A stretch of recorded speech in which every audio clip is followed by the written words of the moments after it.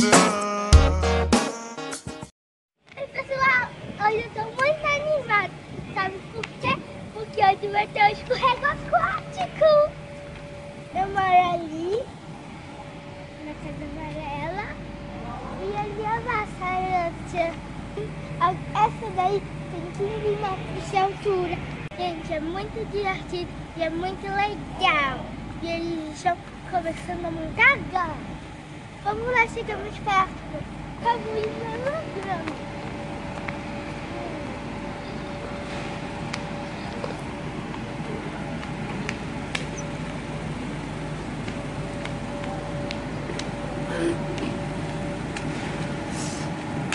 Cadê a outra? É lá pra baixo, eu acho.